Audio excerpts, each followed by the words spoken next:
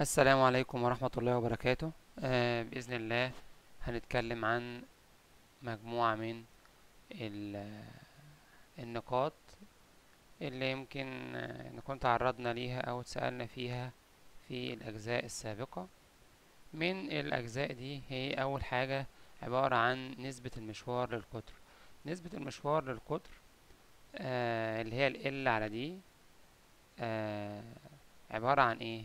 لو إحنا بصينا آه على الشكل ده هنلاقي إن في عندنا ممكن يكون الأسطوانة نفسها طويلة آه فطول الاستروك كبير مقارنة بقطر ال- المكبس.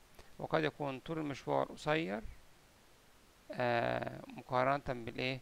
بالقطر. في الحالة دي لو إحنا بنتكلم على الديامتر على ال stroke هيبقى ال stroke على ال diameter هيبقى هنا إيه؟ أقل من واحد. لو هو مربع مربع الشكل يعني ال stroke بيساوي طول المشوار يعني بيساوي طول نص القطر أو طول القطر بتاع المكبس بي- بيسموه مربع أو هو شوط طويل يعني ال stroke طويل في حين إن ال diameter أقل فتبقى النسبة اللي هي L على D أكبر من واحد. طيب إيه أهمية بقى إن L على D تبقى كبيرة أو قليلة؟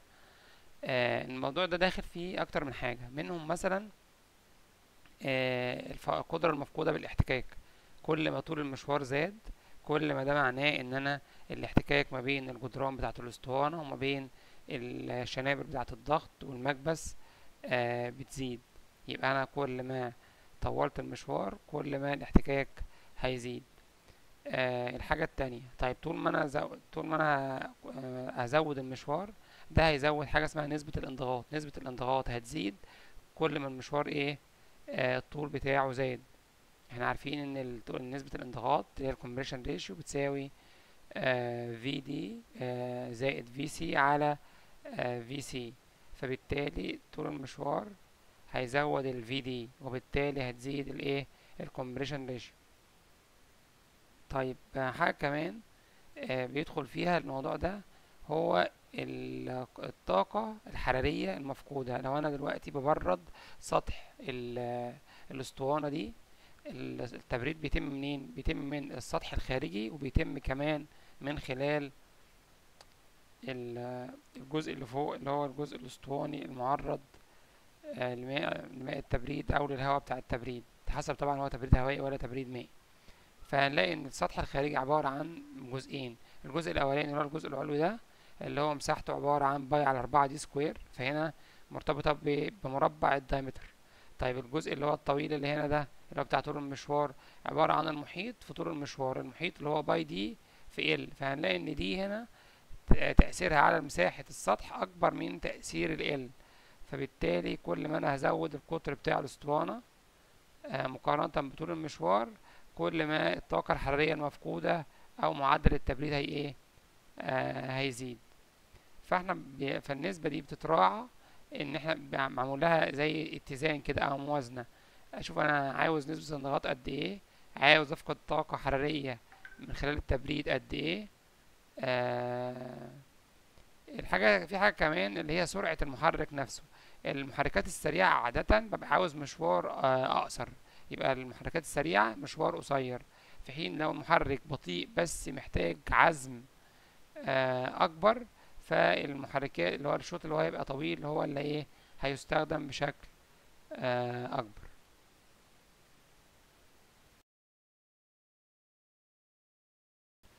آه، هنا دلوقتي دي تلات تلات آه، آه، مستويات. في عندنا اسطوانة مسمينها اللي هي short stroke أو over square اللي هي فوق المربع أو اللي هي المشوار القصير.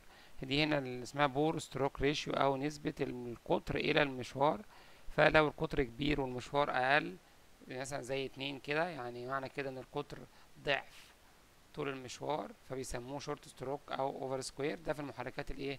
السريعة زي ما قلنا. ال square أو المربع اللي هو إيه؟ واحد يعني ال بتساوي D. الأربعة من عشرة أو بيسموه long stroke أو under square ده بنطول طول المشوار. طبعا بنطول نسبة الانضغاط بنزود الاحتكاك بنزود الإيه؟ العزم أو القدرة بتاعة المحرك آه، في حين إن ال short stroke أو ال over square بتبقى إيه السرعة عالية وبالتالي ال- المحرك يعني سرعته آه، الدورانية أعلى. هنا هنلاقي إن في كذا حاجة موجودة هنا في السلايد. في عندنا نسبة الانضغاط نسبة الانضغاط زي ما إحنا عارفين هي الحجم الكلي على حجم غرفة الاحتراق. يعني في الرسمة دي هنلاقي إن في عندي آه، حجم غرفة الاحتراق عبارة عن جزء والجزء ده آه، لو إحنا جينا نقسم طول المشوار أو الحجم الفعال آه، أو الحجم المزاح هنلاقي إن هو عبارة عن سبع أمثال الجزء ده. فبالتالي الحجم الكلي عبارة عن السبعة زائد الواحد اللي هما التمانية على حجم غرفة الاحتراق اللي هو الواحد.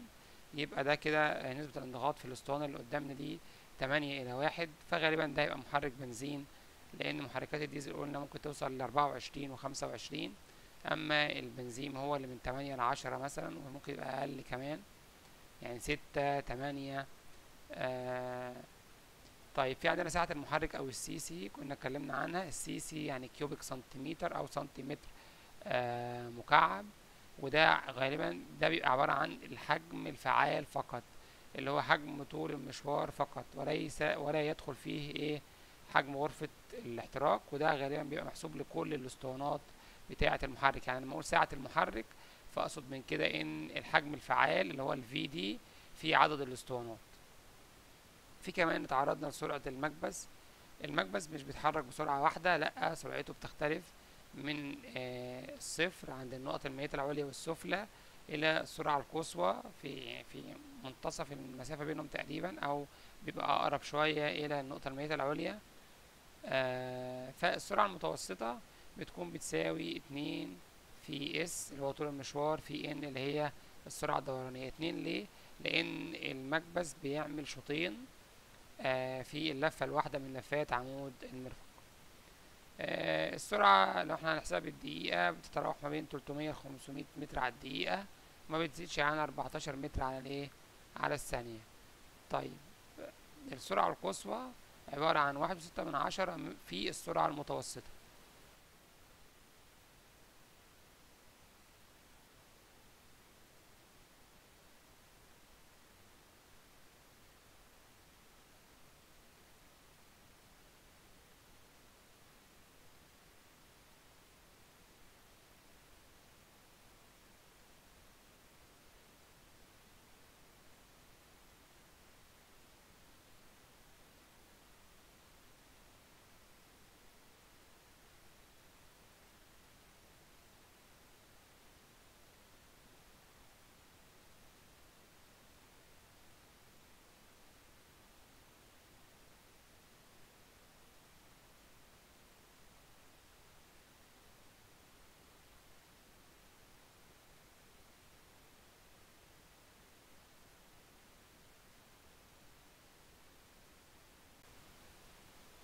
زي ما قلنا في ال slide اللي قبل كده إن عندنا هنا زي ما إحنا شايفين السرعة عند ال top dead center وال bottom dead center آه، بتبقى قريبة من الصفر.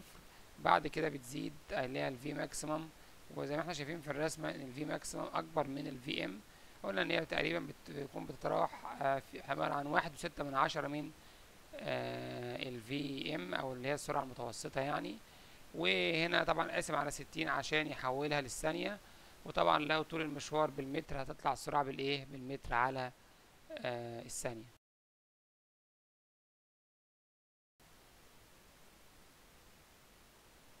تساؤل النقطة التانية اللي قابلتنا وكان فيها تساؤل برضو هي الإيه؟ آه الخلوص اللي موجود هنا بين الصمام وبين آه الذراع أو التكيه ال- التكيه أو الذراع المتأرجح. بنقول الخلوص ده أهميته إيه؟ أنا الصمام ده متعرض إلى درجة حرارة عالية آه وخاصة لو هو صمام عادم يعني الصمامين بيتعرضوا كده للحرارة ناتجة عن الاحتراق القاعدة بتاعة الصمام. أما الصمام العادم كمان الساق بتاعة الصمام كمان بتتعرض لحرارة عالية فالحرارة إحنا عارفين إن المو- الم- المواد أو المعادن بتتمدد بالحرارة وتنكمش آه بالبرودة وبالتالي المعدن ده لما هيتمدد لو مفيش خلوص هنا يبقى هيضغط على التكية فهيبدأ الصمام يتفتح. يبقى كأن الصمام مفتوح أو غير مغلق كليا أو مفتوح جزئيا ده لو أنا مش سايب إيه؟ خلوص فالمهم جدا إن إحنا نسيب خلوص علشان المجب... الصمام لما يتمدد آه، يفضل آه، مقفول. آه إنما كمان ما ينفعش نقلل المدة دي. أنا اسمي مريم إزيكم؟ أيوه. آه معذرة إحنا كنا بنتكلم على ال- الخلوص الخلوص ده لو too little أو قليل جدا هيحصل تمدد زي ما قلنا وهتبدأ الإيه؟ ال- آه، الخلوص ده آه، يبقى مش موجود وبالتالي الصمامات هتتفتح قبل يعني إحنا شفنا هنا دلوقتي عند النورمال هنلاقي إن الصمام بيبدأ يتفتح عند عشرين درجة. طب لو أنا قللت الصمام قللت الخلوص نتيجة التمدد هيفتح قبلها بستة وعشرين درجة يعني ست درجات فرق. نفس الكلام بالنسبة تحت هنلاقي هنا خمسين هنا ستة وخمسين. فاللي هيحصل إن ال- الفترات الزمنية هتزيد شوية.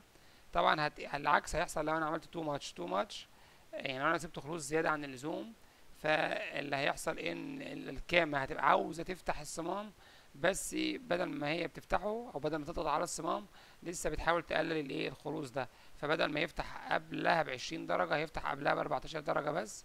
وهنا بدل أربعة وأربعين درجة هيبقوا خمسين آه بدل ما هي خمسين درجة هيبقوا أربعة وأربعين درجة. الفكرة كلها إن الخلوص يبقى متناسب مع مقدار التمدد. لو أعلى آه ده هيبقى مش كويس لأن الصمامات هتفتح متأخر. لو أقل برضو مش كويس لأن الصمامات هتفتح بدري.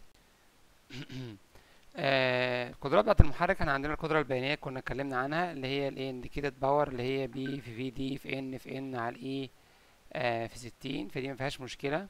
القدرة الفرملية برضو اتكلمنا عنها وازاي ان إحنا بنحسبها من خلال معرفتنا آه بالقدرة اللي هو فرملة بروني وفرملة بروني نقدر آه نشوف منها القوة بتاعت إذا في عندي ذراع في عندي عزم العزم ده بحسبه من خلال القوة في ذراعها وفي عندي ال N اللي هي السرعة, بتاعت الدورانية للمحرك ومن خلال العلاقة بتاعت اتنين πNT على ستين بنحسب القدرة الفرملية في القدرة المفقودة بالاحتكاك ده تجربة اسمها تجربة موريس.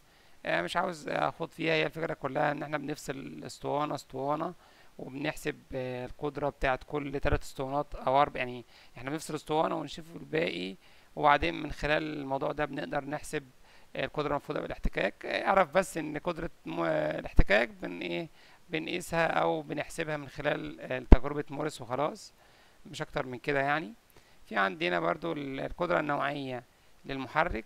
دي عبارة عن القدرة إلى الحجم. بنشوف بس ال- المحرك بتاعي بيقدر يستغل الحجم قد إيه. يعني مثلا لو هو بيشغل حجم كبير وبيطلع قدرة قليلة ده مش كويس. لو هو بيشغل حجم قليل آه وبيدي قدرة أعلى ده كده أفضل وهكذا يعني. ال- الوزن النوعي للمحرك عبارة عن النسبة ما بين وزن المحرك إلى قدرته الفرملية هي برضو نفس الفكرة بس هنا باستغلال الايه ال- الوزن.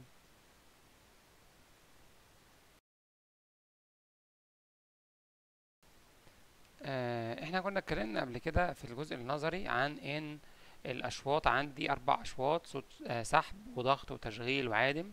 وكنا قلنا مثلا إن شوط السحب هيبدأ من النقطة الميتة العليا آه، المكبس هيبدأ ينزل من النقطة الميتة العليا للنقطة الميتة السفلى صمام السحب هيتفتح آه، هيحصل السحب. طالما المكبس نزل للنقطة الميتة السفلى بيتقفل الصمام فيبقى الصمامين بتوع السحب والعادم مقفولين. يبدأ المكبس يتحرك من النقطة الميتة السفلى للنقطة الميتة العليا والصمامين مقفولين. عشان يحصل إيه؟ الضغط. بعد كده هيحصل الشرارة الكهربية أو هيحصل حقن الوقود فيحصل الاحتراق هيحصل التمدد. ده برضو الإيه؟ والشطيء والصمامين مقفولين. في المكبس نزل من النقطة الميتة العليا للنقطة الميتة السفلى خلال شوط القدرة. بعد كده عاوز أطرد العادم هفتح الصمام العادم والمكبس يطلع للنقطة الميتة العليا. آه وبعد كده صمام العادم يتقفل ويتفتح صمام السحب وهكذا. الحقيقة بقى مش بيحصل بالشكل ده. الشكل اللي قدامنا ده هنلاقي إن في عندنا فوق أعلى نقطة في خط رأسي تماما. الخط الرأسي دوت عبارة عن النقطة الميتة العليا والنقطة الميتة السفلى تحت. بيقول لنا إيه؟ بيقول لنا لو بصيت قبل النقطة الميتة العليا بشوية هتلاقي إن صمام السحب اتفتح. في IO أو فتح صمام اللي هو ال intake valve open I اللي هي intake valve O اللي هي open C اللي هي close. ففي عندنا هنا أربع حاجات اللي هي O اتنين O اللي هي IO اللي هي intake open و IO اللي هي intake close فهنلاقي إن عندنا هنا زي ما قلنا في عندنا أربعة اللي هي الاي أو والاي سي الاي اللي هي ال exhaust close ال EO اللي هي ال exhaust open حتى مترجمين عندك في الصورة بالعربي ال IC اللي هي إيه؟ ال intake close طيب إحنا قلنا أول حاجة هنلاقي إن ال IO اللي هو فتح صمام السحب بيحصل قبل النقطة الميتة العليا بشوية. طيب معنى كده إن أنا هبقى لسه في الشوط العادم. وقبل ما الشوط العادم يخلص صمام السحب هيتفتح. طب صمام السحب اتفتح ليه؟ فبنقول إن الهواء البارد أو المخلوط ما بين الهواء والوقود حسب نوع المحرك يعني اللي هما بيبقوا باردين درجة حرارتهم منخفضة دول بيساعدوا على طرد الإيه؟ الحاجة اللي هي الباردة أو درجة حرارتها منخفضة كثافتها أعلى فبتنزل وتطرد الإيه؟ اللي درجة حرارته أعلى أو اللي كثافته أقل. فأنا بفتح صمام السحب عشان المخلوط البارد ده يساعد في طرد الإيه؟ العادم. بعد كده بنوصل للنقطة الميتة العليا وبعد كده بتلاقي الإيه؟ ال exhaust close أو غلق صمام العادم. يعني ما اتقفلش عند النقطة الميتة العليا. لا ده فضل مفتوح شوية. طب فضل مفتوح شوية ليه؟ فضل مفتوح شوية عشان أولا كان غازات العادم كانت مكتسبة طاقة قصور ذاتي. المكبس كان طالع كان بيزقها فهي كانت مكتسبة طاقة قصور ذاتي. أنا عاوز أستفيد بالقصور الذاتي ده آه في آه إن هي تبقى إيه؟ آه إن هي تخرج. وفي نفس الوقت الهواء البارد اللي عمال يدخل ده أو المخلوط البارد اللي عمال يدخل ده يساعد على عملية الإيه؟ الطرد. فأنا بسيب بفتح صمام السحب قبل النقطه المية العليا عشان أستفيد بالكثافة بتاعته اللي هي العالية وبسيب صمام العادم مفتوح شوية كمان بعد النقطة المية العليا علشان أستفيد بالقصور الذاتي اللي هو مكتسبه إن هو إيه؟ يخرج. في حاجة كمان برضو بيقولوها في نقطة صمام السحب ليه بفتحه قبل شوية؟ عشان أتأكد إن الفتح ده بيتفتحش مرة واحدة كده لا بياخد فترة عقبال ما يتفتح. فإن أنا أتأكد إن لما نوصل للنقطه المية العليا يكون كان مفتوح بالإيه؟ بالكامل مش لسه هيبدأ يتفتح. آه طيب شوط السحب بدأ يشتغل استمر. هل استمر لحد النقطة المية العليا؟ لحد النقطة الميتة السفلى بس لأ ده أنا كمان سبته بعد النقطة الميتة الإيه؟ السفلى بشوية. هتلاقي إن ال intake close أو غلق صمام السحب بيحصل آه بعد النقطة الميتة السفلى بشوية. طب ده ليه؟ نفس السبب اللي إحنا قلناه قبل كده إن أنا دلوقتي الهواء كان بيتسحب من بره فجاي لي من الفلتر وجاي في المسارات بتاعتي أو في ال manifold مثلا مكتسب طاقة قصور ذاتي بتدفعه نحو الإيه؟ الأسطوانة. لو أنا قفلت فمش هستفيد بطاقة القصور الذاتي دي فهسيبه فترة كمان عشان أستفيد بطاقة الإيه؟ القصور الذاتي. وهتلاقي طاقة القصور الذاتي دي بتختلف حسب المحرك سريع ولا بطيء. ففي المحركات السريعة هتلاقي إن المدد دي بت إيه؟ بتزيد. اللي هي المدة اللي أنا عاوز أستفيد بيها بطاقة القصور الذاتي هتزيد في المحركات السريعة. بينما لو المحرك بطيء هتلاقي المدة هتبقى إيه؟ قليلة. طيب قفلت صمام السحب. كده الصمامين مقفولين. هنعمل شوط الإيه؟ الضغط اللي هو اللي هو الأزرق الغامق ده شوط الضغط لحد النقطة الميتة العليا. طيب وصلنا للنقطة الميتة العليا. هنبدأ الشوط الأحمر اللي هو شوط التشغيل. حصل الشرارة حصل الاحتراق الغازات دلوقتي عمالة تتمدد وتضغط على المكبس وتنزله لإيه؟ لأسفل. المفترض إن الشوط ده كان مستمر لحد النقطة الميتة السفلى.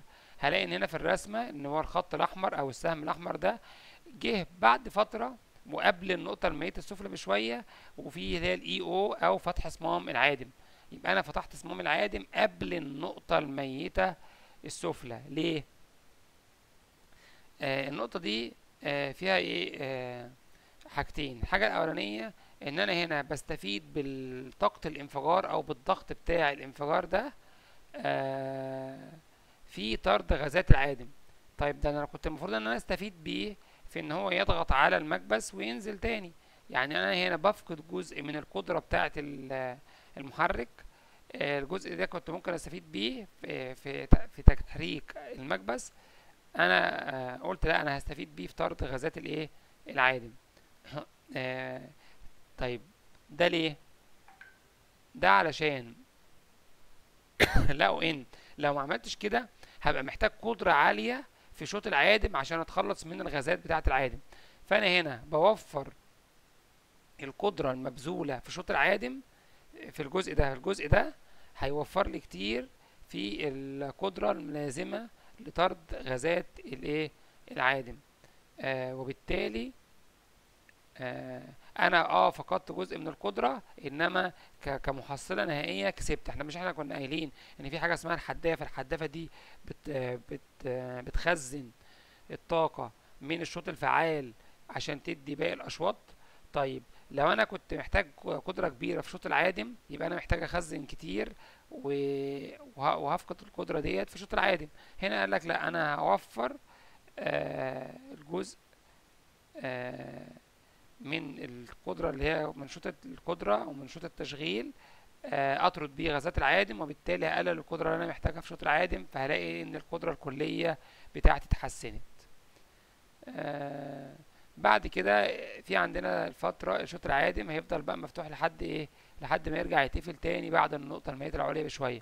في فترة اسمها فترة تداخل أو اوفرلاب بيكون فيها كل من صمام السحب وصمام العادم آه، مفتوحين.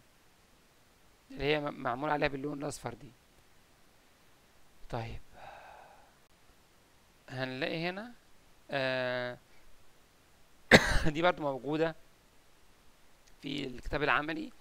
آه لو لاحظت هنا المدة الزمنية في اللي على اليمين أكبر من اللي على الشمال. طبعا ده بيبين إن واحد فيهم سريع وواحد فيهم بطيء. تتوقع مين فيهم السريع ومين فيهم البطيء؟ هل المدة الزمنية فيه بتبقى أكبر ولا المدة الزمنية بتكون أقل؟ بعد كده اتكلمنا عن آه، حاجة موجودة في الوقود آه، رقمين. رقم بيخص محركات البنزين ورقم تاني بيخص محركات الديزل. الرقم اللي بيخص محركات البنزين هو رقم ال iso-octane ال iso-octane آه، ده عبارة عن رقم ك indicator لمقاومة الوقود دوت لإيه ظاهرة الخبط ظاهرة الخبط دي هتحصل إمتى؟ لو الوقود اشتعل ذاتيا قبل ما البوجيه يدي الشرارة الكهربية فده بيبقى المكبس لسه طالع والوقود اتحرق فبيحصل حاجة اسمها إيه؟ ظاهرة الخبط. طيب آه يعني اللي يبقى يبقى رقم الايزو اوكتان ده كل ما زاد هو من صفر لحد مية. آه بيبقى مية في آه وقود اسمه الايزو اوكتان آه بيبقى صفر في حاجة اسمها الهبتان آه فالفكرة كلها إن أنا رقم الايزو اوكتان ده عبارة عن إيه؟ عبارة عن نسبة الايزو اوكتان أو وقود الايزو اوكتان في مخلوط ما بين الايزو اوكتان والهبتان يعني أنا دلوقتي عندي وقود معين الوقود ده عاوز أعرف رقم الايزو اوكتان بتاعه. فبشوف الوقود ده آه بيشتعل عند نسبة انضغاط قد إيه؟ يعني إيه أعلى نسبة انضغاط ممكنة ليه؟ آه مثلا say لقيت سبعة فأنا بروح جاي عامل خليط ما بين الايزو اوكتان والهبتان يقدر يتحمل نسبة انضغاط سبعة. آه ساعتها بشوف نسبة الايزو اوكتان في الخليط ده قد إيه؟ say مثلا طلعت ستين في المية. يبقى كده الرقم الايزو اوكتان للوقود الجديد اللي أنا بجربه ده ستين طلعت سبعين في المية. يبقى رقم الوقود ده آه سبعين. آه بينما بقى نيجي نبص على رقم ال cetane. ال cetane دوت مرتبط بالديزل. بالنسبة لرقم ال cetane قلنا يستخدم في محركات آه الديزل. ده آه برضو بيت بيقيم بيه الوقود. بنشوف بقى الوقود ده بيحترق آه بسرعة قد إيه؟ يعني هل سرعة احتراق الوقود آه لو هو رقم ال cetane بيبقى عالي في حالة آه لو الوقود ده بيست آه بيشتعل بسرعة أو حاجة اسمها فترة تأخير اشتعال الوقود بتبقى صغيرة. في حين الرقم هيبقى قليل لو عنده فترة تأخير كبيرة أو بيشتعل بإيه؟ ببطء. نفس الكلام رقم ال cetane عبارة زي ما رقم الأيزو أوكتان بيبقى عبارة عن نسبة الأيزو أوكتان في مخلوط ما بين الأيزو أوكتان والهبتان هنا نفس الكلام رقم ال cetane عبارة عن نسبة ال cetane اللي هو C 16 H 34 إلى وقود اسمه ال alpha methyl naphthalene اللي هو C 11 H 10 نسبة ال cetane في المخلوط ما بينهم هما الاتنين. لأن ال cetane بيشتعل بسرعة بينما ال alpha methyl naphthalene آه بيشتعل بإيه؟ ببطء. فبشوف برضو عندي وقود جديد عاوز أشوف رقم ال cetane له قد إيه فبشوف هو بيشتعل بسرعة قد إيه وباخد آه أعمل مخاليط ما بين ال cetane وال naphthalene وأشوف مين فيهم اللي بيشتعل عندي نفس السرعة. يبقى نسبة ال cetane في المخلوط اللي هو بيشتعل بنفس السرعة بتاعة المخلوط اللي أنا الوقود اللي أنا عاوز آه أجربه هو ده رقم ال cetane بتاعه. فيبقى رقم ال cetane عبارة عن النسبة بتاعة ال cetane في المخلوط ما بين ال cetane والإيه وال alpha methyl naphthalene. آه غالبا أنا بشتغل في المحركات السريعة لو محرك سريع عاوز يديني RPM عالي فأنا محتاج فترة تأخير اشتعال صغيرة. يعني إيه فترة تأخير اشتعال؟ إحنا عارفين إن الوقود هنا بيشتعل نتيجة تلامسه مع الهواء الساخن فهيشتعل ذاتيا. ففي وقود يقدر يشتعل ذاتيا بسرعة كبيرة في وقود هياخد وقت عقبال ما يبدأ. يتلامس بقى مع الوقود مع الهواء السخن والحرارة تحصل لها تبادل ويحس بالحرارة العالية فيبدأ يشتعل ففترة تأخير الاشتعال دي اللي هو عبارة عن لما يبدأ يلمس الهواء السخن هياخد فترة زمنية قد إيه عشان يحترق فطبعا في المحرك اللي هو عنده فترة تأخير قليلة ده هيستخدمه في المحركات السريعة فترة تأخيره كبيرة أو رقم الستين بتاعه صغير أو قليل هستخدمه في المحركات الإيه؟ البطيئة. آخر نقطة اتكلمنا عنها هي الاتزان الحراري في في الوقود. آه قلنا إن الوقود مش بستفيد بقدرته كلها أو بالطاقة المختزنة فيه كلها. هنلاقي إن في الحقيقة اللي بيحصل إن أنا آه زي ما إحنا شايفين في الرسمة هنا في عندنا كيرفين ال curve الأولاني اللي هو على اليمين ده بين ال engine speed أو سرعة المحرك وما بين النسب بقى بتاعة توزيع القدرة بتاعة الوقود أو طاقة الوقود. هنلاقي إن ال useful work أو الشغل اللي هو الفعلي اللي أنا بستفيد بيه هيبقى مثلا في حدود ستة وعشرين تمانية وعشرين في المية. بعد كده اللي رايح في التبريد اللي هو ال coolant أو ماء التبريد ما بين ستة وعشرين لحاجة وخمسين. بعد كده ال friction من خمسين مثلا لستين من حاجة وخمسين لحاجة وستين. بعد كده كل الجزء ده من مثلا ستين في المية لحد مية في المية exhaust اللي هو العادم ال radiation اللي هو المحرك بيسخن وبيدي الهواء الجوي وطاقات غير آه محسوبة أو فواقد غير محسوبة. آه طبعا يهمنا كل ما آه design أو تصميم المحرك اتحسن كل ما هقدر أزود القدرة الجزء بتاع ال useful work وهقلل القدرة بتاعة الإيه الفواقد. آه نفس الكلام لو إحنا بصينا على ال curve اللي على الشمال بس ده ما بين الحمل أو ال load أو آه القدرة اللي هو الخارجة من المحرك وما بين برضو الإيه الطاقة الحرارية وتوزيعها ده بيبقى محرك ديزل. هنلاقي إن ال useful work برضو يعني أقصى حاجة هتبقى قريبة من آه يعني قبل في المية بشوية بعد كده من الأربعين للست للسبعين آه في ال coolant أو في التبريد بعد كده من السبعين للمية في ال exhaust وفي جزء هيبقى في ال radiation والإيه وال unaccounted اللي هو الجزء بتاع اللي هو الغير محسوب ده بيبقى داخل فيه برضو الفواقد بتاعة المضخات لو أنا عندي مضخة مية للتبريد لو أنا عندي مضخة زيت كل الحاجات دي كلها تعتبر إيه آه آه فواقد آه في عندنا مخطط اسمه مخطط Sankey للاتزان الحراري. المخطط ده ببساطة شديدة. زي ما إحنا شايفين برضو بنفس الرسمة اللي فاتت انما بيعملها في زي flow chart كده. تحت كده هتلاقي ال heat from fuel مية في المية. هتلاقي ان خمسة وتلاتين راحوا في الوقود آه راحوا في التبريد اللي هي ال coolant بعد كده خمسة وستين اللي هما الايه آه جزء منهم راح في ال exhaust أو في العادم اللي هو تلاتة وتلاتين في المية. اتبقى لي 32 ال 32 في المية دول جزء راح في ال في ال surrounding أو الجزء المحيط بالمحرك وال brake power استفدنا ب 20% فقط. في 20% فقط في تبع وفقا لمخطط Sankey ده استفدت بيه كقدرة فعلية أو قدرة فرملية في حين ان 80% كانت آه فواقد. آه أهم المراجع اللي إحنا آه رجعنا لها في الجزء ده كان محاضرات الدكتور مبارك محمد مصطفى أستاذ الدكتور مبارك محمد مصطفى أستاذ الهندسة الزراعية بكلية زراعة جامعة عين شمس متفرغ. آه وكتاب الجرات الزراعية تشغيل وصيانة واقتصاديات للأستاذ الدكتور أحمد آه الراعي آه بجامعة القاهرة برضو أستاذ متفرغ. آه لحد هنا نشكركم على حسن استماعكم. وأتمنى نكون وضحنا النقاط العالقة اللي كانت متبقية لنا في خلال الكورس. السلام عليكم ورحمة الله وبركاته.